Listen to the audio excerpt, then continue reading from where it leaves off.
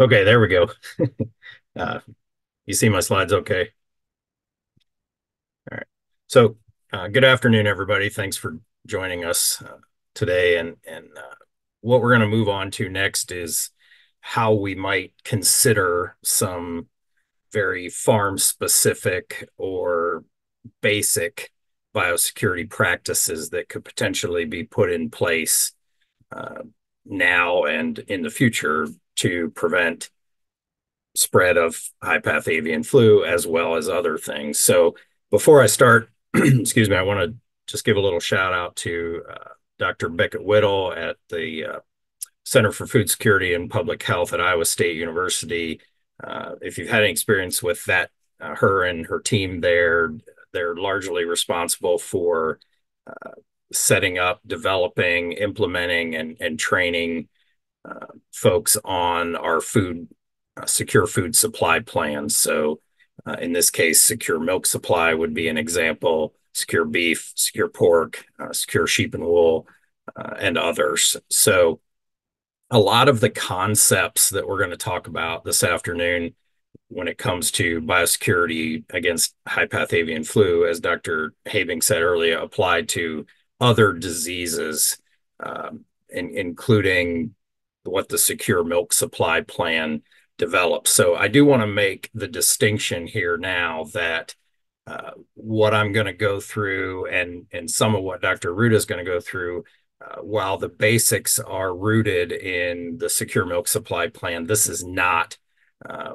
the the secure milk supply plan. The concepts are the same, uh, but the secure milk supply plans are developed uh, and set up to pr- protect against uh, foot and mouth disease virus infection, and which is a very, very contagious, uh, very highly spreadable disease, and uh, and we think high path flu is too, but probably on different level, and so to act uh, actually set up a secure milk supply plan for your operation involves enhanced levels of biosecurity. So uh, much of the concepts we're going to talk about today are the same, but we're going to focus on sort of the uh, the simple things that we might be able to put in place, uh, and it might not. It could develop on your farm and your operation into the level of enhanced biosecurity, but these are some basics, uh, if you will. I also want to give a shout out to American Association of Bovine Practitioners and the National Milk Producers Federation. They've done a great job of providing resources for biosecurity on dairy farms, and and some of what I'm going to uh, discuss today uh, comes from some of that good work that they've done.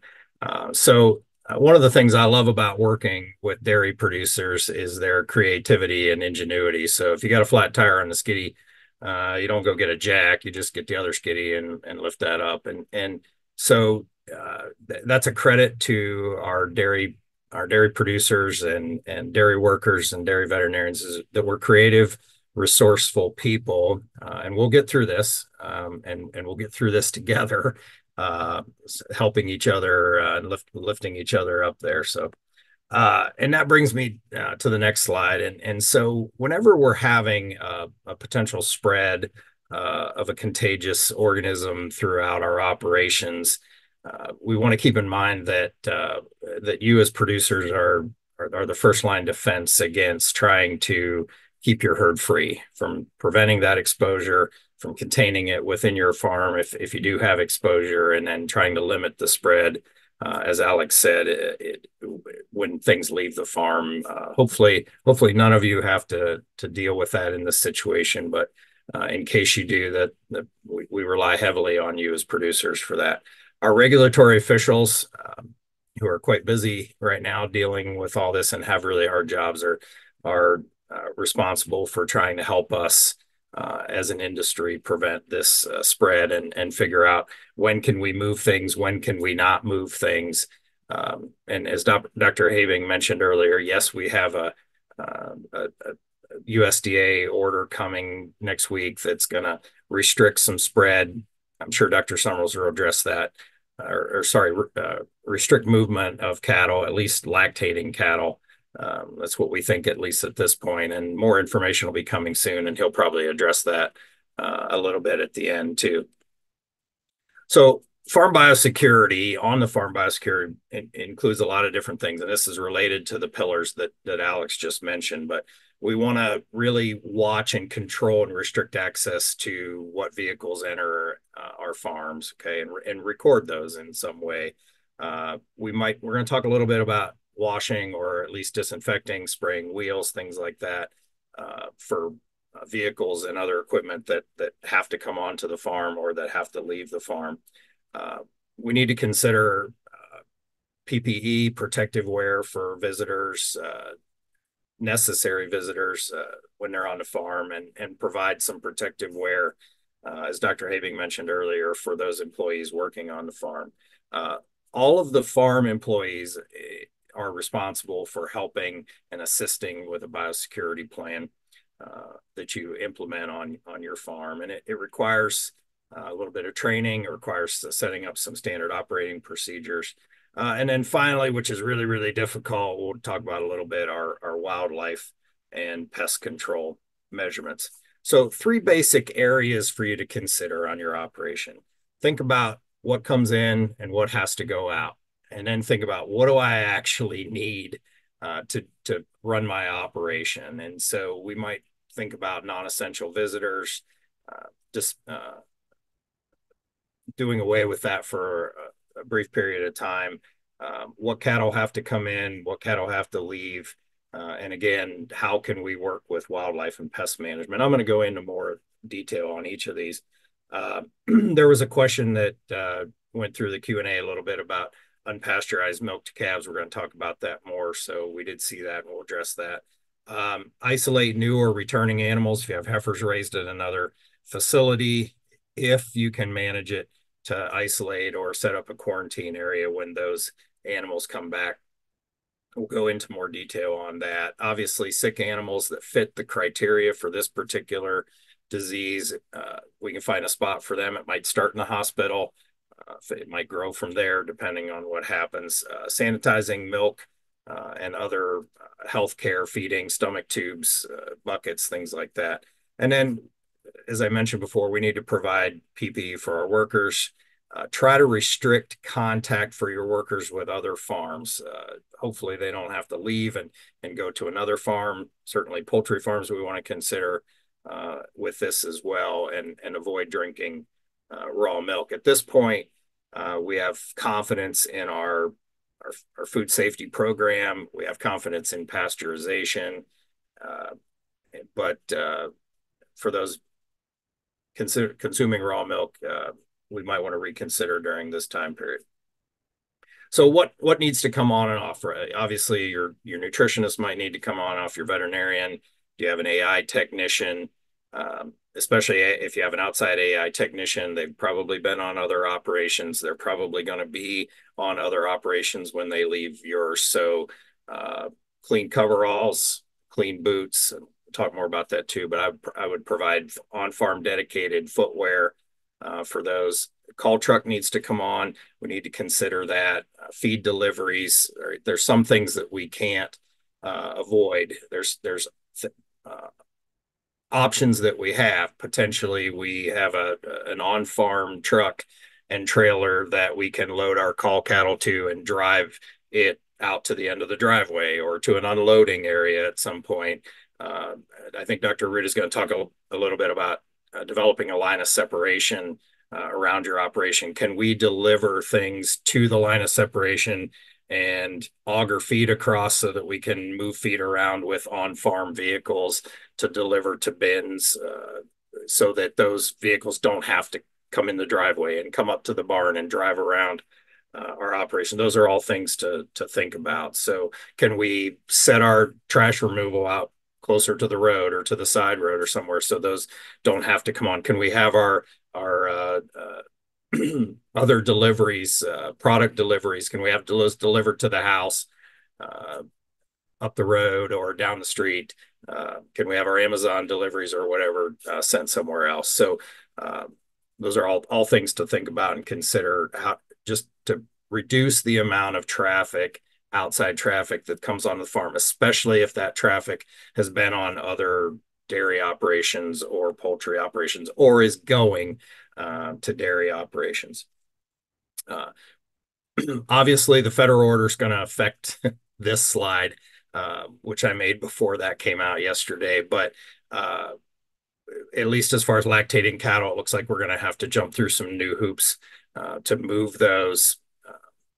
Again, I'll let Dr. Summers talk about that, whether that involves all lactating cattle or or just healthy cattle moving uh, interstate. But uh, we we want to try try our best to restrict uh, moving from sites with known um, high path uh, infected cattle. Um, and again, if we can do it, I realize how hard this is, but if we can do it and we have to bring animals back from another facility and we're worried uh, about uh, lateral transmission with those animals that are coming back from another state or another facility, if we can uh, identify a place to put them uh, where they can be isolated and we can watch for 21 days, uh, that's that's ideal. So your operation may or may not um, allow for that. Uh, obviously, this federal order is probably going to change the way we're uh, testing for this. And typically, that testing involves nasal swabs for non lactating cattle.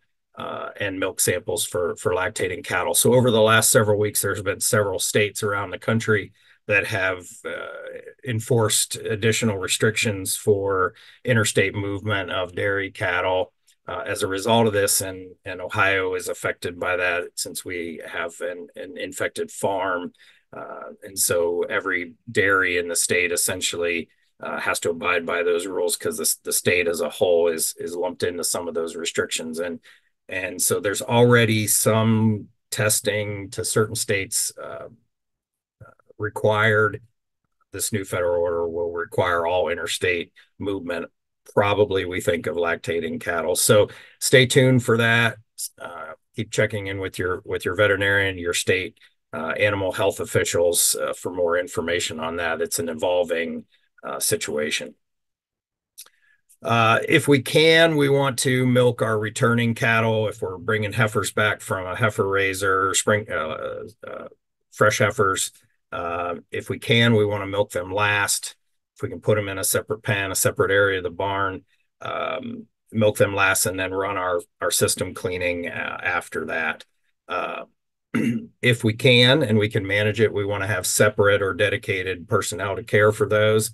Uh, or those cattle are, are cared for first, and maybe some PPE is changed before we go to the, the resident herd.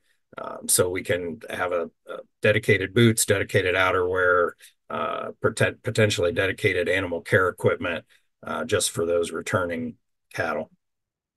Uh, obviously, if we have signs of disease, Dr. Habing went through those. Uh, we want to move those to a hospital pen or isolated area. Uh, if we can figure out a way to do it, we want to avoid fence line contact, fence line feeders, sharing water spaces, right? We we're pretty sure that that these cattle are able to spread this through oral nasal secretions, and so there's probably a lot of transmission happening on farms that are infected at the water tanks. Um, the jury's still out, I think, a little bit on you know whether this is spread in the parlor at at milking time. Uh, we know that we can find a high viral load in the milk. Uh, how much of that lateral transmission is happening, I think, is is yet to be determined. So, for those who have to care for sick cows, it's great if you can have a crew or a person or two that's dedicated uh, to working with sick uh, cows only and not necessarily non-clinical animals. Um, and then, uh, if we can, we want to have them change their uh, PPE, uh, clean, wash hands really well, if not showering uh, have separate equipment. I already mentioned that for working with or treating positive animals if you were to develop this. And again, dedicated outerwear and footwear for that. Wildlife and pest management, as Dr. Habing mentioned, we know that wild uh, waterfowl uh, contribute to the spread of high path avian flu. It's difficult, right? I get it. I understand there's no system that that is perfect, uh, but anything we can do to eliminate wildlife and waterfowl and that contact that it has directly with our cattle just helps us reduce the overall load that these cattle see uh, and uh, maybe could be the difference between to spreading it or not. So we do want to watch for you know suspicious deaths, more bird deaths on your farm than normal, uh, cats uh, being ill or or dead cats even, and, and make sure you report those at least to your veterinarian so they can can run that up the chain of, of command. Uh, USDA Wildlife Services offers some assistance. Uh, so there's some resources there listed for you uh, on some things that you can do in terms of uh, bird and wildlife control. I know a lot of you uh, deal with that already in the wintertime with the starlings and anything else. So nettings and, and, and screens on curtain sided buildings, scare devices. I know the birds all get used to them eventually. Um, you have to change the call or change the location or all that, but uh, decoy predators, anything that we can do where there's high traffic areas. Uh, if you have surface water, uh, that a pond, a, a, a, lowland, something like that, if we can fence that off or limit, restrict uh, access to that for drinking water source for our cattle, that would be advisable. Uh, fence that off or or reduce that. Um, you know, if we have to use that for drinking water? Do we have any other options for that? Can we chlorinate it? Um, but uh, we want to really try to watch uh, our surface water. On the farm, uh, we want to watch our equipment driving uh, between areas where there could be a lot of bird feces, especially if there's a lot of geese or wild uh, waterfowl there, and try not to drive equipment through that area. Can we go around? Can we set up some fencing to reduce the, the flow or gates. Uh, we can use uh, disinfectants to uh, clean and disinfect uh, trucks, tires, uh, equipment, things like that. Depending on the time of year, that could be difficult. and how much organic debris is already on the equipment will determine on how well we can do that. But um, we want to watch that. Now, if you have a dairy farm and you have poultry, you know the the recommendation is let's not try to share equipment across one side of the farm and the other. Uh, let's limit our vehicle transmission uh, back and forth that could spread the virus that's in feces uh, from one area to the barn the other. Can we set up a dedicated entrance for that? Uh, other other part of our operation hopefully we have dedicated workers just in one area uh, with with with poultry and then uh, dairy for the dairies, we want to clean our animal waters uh, as often as possible, recommending daily uh, in this situation. Uh, on farm dedicated footwear and outerwear for animal caretakers. So they don't bring anything to work with them. They come to work, uh, hopefully cleaned, showered, uh, washed with clean clothes, but then we provide on-farm coveralls on on-farm footwear that only stays on the farm uh, and and they only use when they're there, uh, so that we don't contaminate the inside of their vehicle with anything. And if they happen to be on other farming operations, hopefully they're not bringing that in to contaminate. Uh, for uh, milk haulers, nutritionists, uh, AI technicians, providing disposable footwear and outerwear uh, for those necessary visitors, the ones we can't restrict, uh, that they can use when they get if they have to get out of their vehicle. Uh, provide them with on-farm uh, plastic booties, uh, on-farm outerwear uh, that can be discarded once they start to enter their vehicle. Here you see the milk truck driver. you know, putting this stuff on before their feet hit the ground, and then taking that off before they get in their truck to to leave, and then we can discard that uh, on the farm. Somebody asked about uh, pasteurization for milk, both for human consumption as well as for calves. So, so far, we're not seeing a tremendous amount of reports or hearing a tremendous amount of reports of this clinical disease being spread to our young stock. Uh, that sounds like there are some tests, initial tests that might uh, be showing that we can find a positive here and there's still a lot to learn, still a lot pending. Uh, but we want to be careful with feeding uh, raw milk and raw colostrum because we know there's such a, a heavy viral load. So uh, pasteurized or heat treated colostrum and milk, uh, or go to milk replacers or bag colostrum. Uh, and then sanitize milking equipment thoroughly uh, after milking, especially if we have suspect animals or animals that have returned from another facility. Uh, and we always want to follow good uh, NMC milking guidelines. So as far as cleaning and disinfecting, uh, we can use some wheel spray, some some tire spray on vehicles coming in, leaving the farm, set up a C&D station, something at the end of the driveway or whatever, or near a near a, another building, near your shop, something like that. That you could. There are a lot of different uh, EPA approved disinfectants against uh, high path avian uh, influenza, and then there's a, a a link there that you could go to find those. There's a lot of them. I, I listed a few here. Virkon, uh, even bleach, um, Accel are some common ones that you probably have heard of. These are good disinfectants that will kill uh, this virus. I don't know if Dr. Root is going to talk much more about C&D, but I'll just mention that to do full and C&D station, it takes all, all, these different things, right? We have to have a place that, that drains well, where the wash water is not going to come down. Uh, certainly in cases of the secure milk supply or, or foot and mouth disease outbreak, we would have to C and D complete do complete cleaning and disinfecting on far on vehicles that enter the farm. At this level, it's great if we can start to do some of this for things that have to come on the farm, but even implementing just a wheel wash with some disinfectant uh, to those wheels or undercarriage parts that are going to contact the ground would be a, a good first initial step. So you can use a garden sprayer, pump spray, or something like that with an approved disinfectant to start to at least protect yourself as much as possible. Again, anything we can keep off the farm right now, especially those vehicles that have to travel from farm to farm, helps reduce the uh, environmental contamination.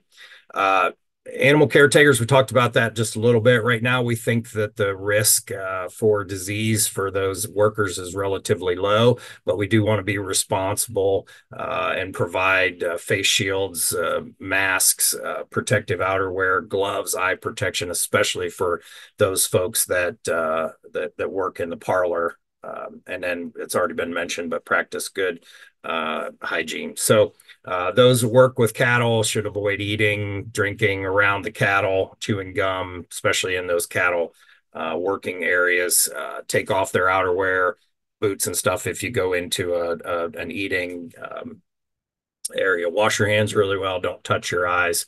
Um, we we know that we've um, uh, that we've found positive workers uh, with some signs of illness, but uh, we want to be careful uh, with them contaminating other farms, especially uh, after that. So a lot of resources. Dr. Ruda probably mentioned some of these. So I'll send you to the Secure uh, Milk Supply uh, website. There's a lot of good signage there. There's a lot of good activities. Again, the Secure Milk Supply is enhanced biosecurity. The, the, the measures that I've outlined for you today are, are, are certainly part of that uh, but but secure milk supply takes it to a whole other level. But there's a lot of good signage there in both English and Spanish that you can print out um, to start to use on your farms. Um, things like this that that uh, you can and hang up. And there's uh, posters about um, different visitors and how we want to control those as well as on farm uh, vehicles. So um,